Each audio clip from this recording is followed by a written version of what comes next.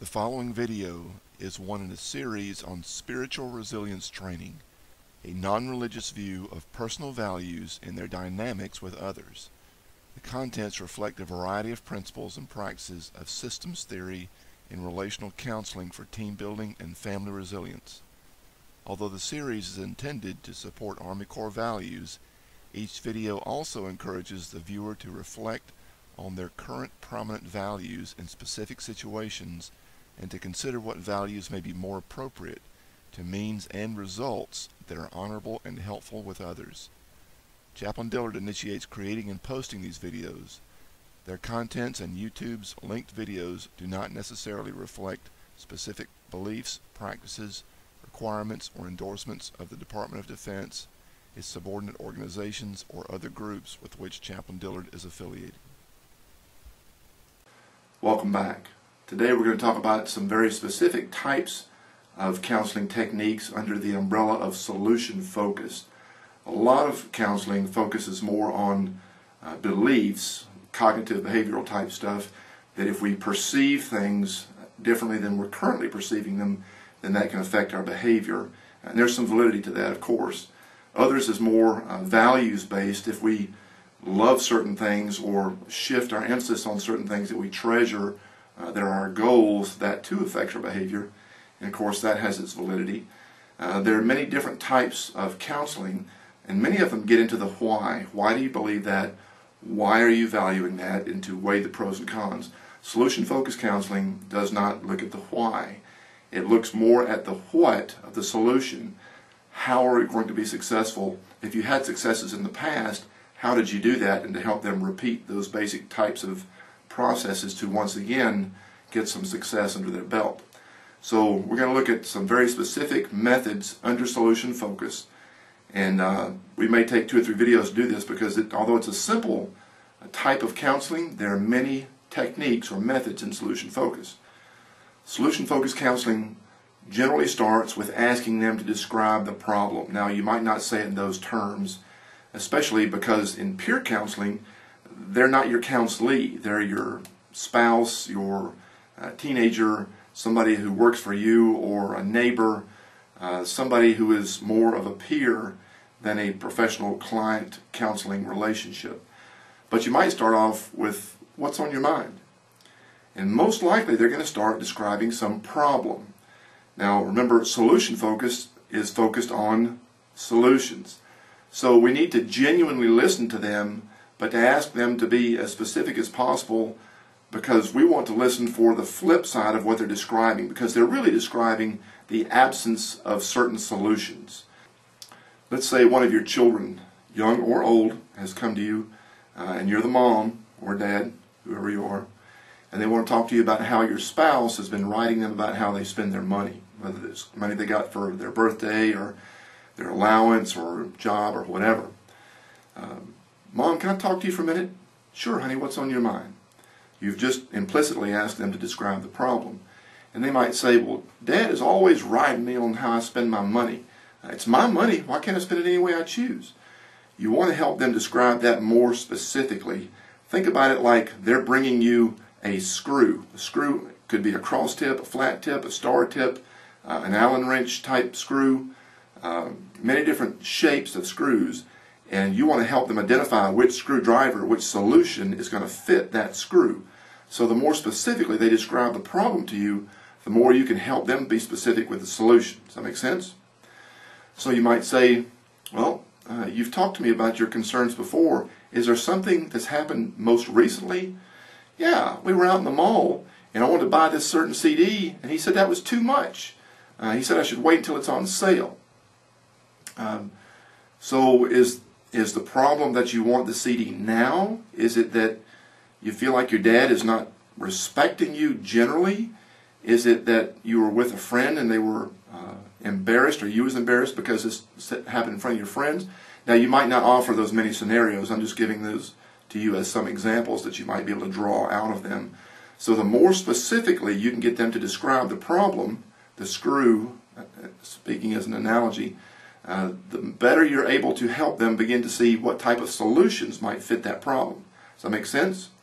So hearing them describe the, the problem, very specifically so that you can later begin to uh, help them think of some solutions. That's step number one. The next thing, and generally this is in sequence, is to help them state their goal. And you can do that a number of ways. Well, honey, if you were to replay that situation, what do you wish would have happened? And they might say, I wish you'd let me spend my money however I want to.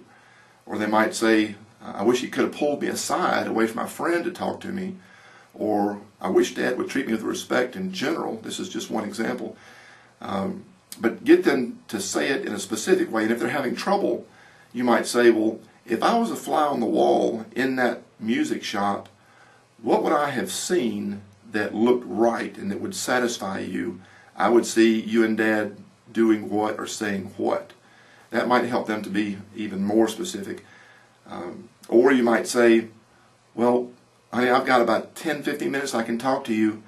If this conversation is helpful to you, what will have happened by the end of the conversation? And they might say, well, you'll decide you'll go talk to dad for me. That might be their solution, which you might say, eh, that's not a solution. I want you to have a better relationship yourself with your dad. Uh, and but you want to be gentle and helpful with that and say, well, that sounds like you want me to be your solution. And there are times that I should do that, but I want you to have a good relationship with your dad. So by the end of our 10 or 15 minutes together, how will you know if this conversation has gone well for you? And they could say a number of things. Well, I'll know how to talk to dad without him getting upset and raising his voice. Or I will help dad be able to understand my perspective so he knows what's important to me. Or dad and I will come to some type of agreement about how to disagree or, how to have conversations with my friends when my friends are around that don't embarrass me. Uh, get them to articulate that goal because they're really um, trying to articulate a target to shoot at, a target to go for. And the old saying, uh, if you aim at nothing, you'll hit it every time, very much applies here. So uh, you want it to be their goal statement, not your goal for them. Another type of method in solution focused counseling is to have them identify exceptions, times that the specific problem that they named did not happen.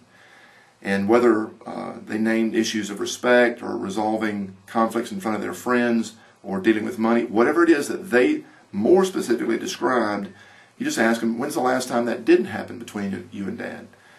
And they might say, well, it always happens, whether they're uh, actually your subordinate, your neighbor, family member. If they're upset, they may uh, generalize and state something that's a little exaggerated. Uh, and you might say, okay, I understand you're upset, but if you think back, there's probably a time when it didn't happen, or it happened much, much less. When was that time? And let's go back to the example of, of your child, whether they're 7 or 17 or a 27 year old living with you. Well, I guess there was that time a decade ago when I asked, asked him to buy me some gum in the store and he said, Yeah, I'll do that.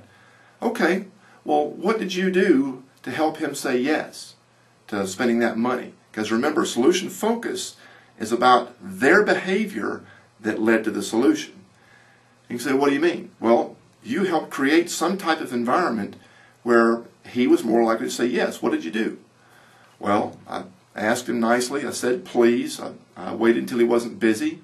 Good for you. That's smart. You showed respect, uh, discernment about timing. You phrased it in a way that helped him to hear you. Um, what else? Well, I knew it wasn't a whole lot of money and he could probably afford it.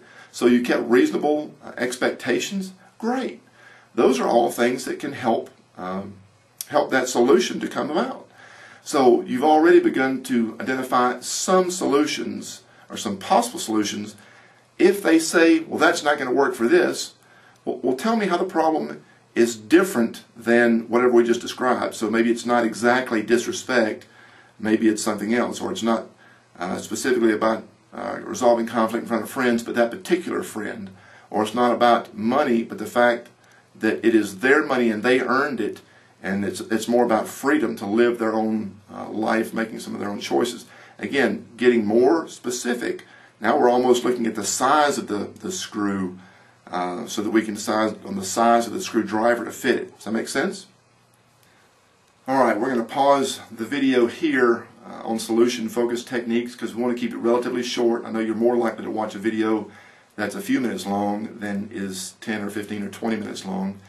And uh, please come back and join us next time, and we will look at more methods of solution focused counseling. At the release date of this video, I am stationed with Research Development and Engineering Command, RDECOM, at Aberdeen Proving Ground, Maryland. Because the majority of our personnel are in this area, I spend most of my time here. I do, however, travel to our distant units based on command priorities and budget. I place these videos on YouTube for broad visibility to Army personnel and their families, but I hope the videos will be helpful to others too. If you are assigned to RDECOM and want to request specific topics by video, training on site or by VTC, or confidential counseling on site or by secure webcam, you can contact me at jeffrey.d.dillard.mil at mail.mil.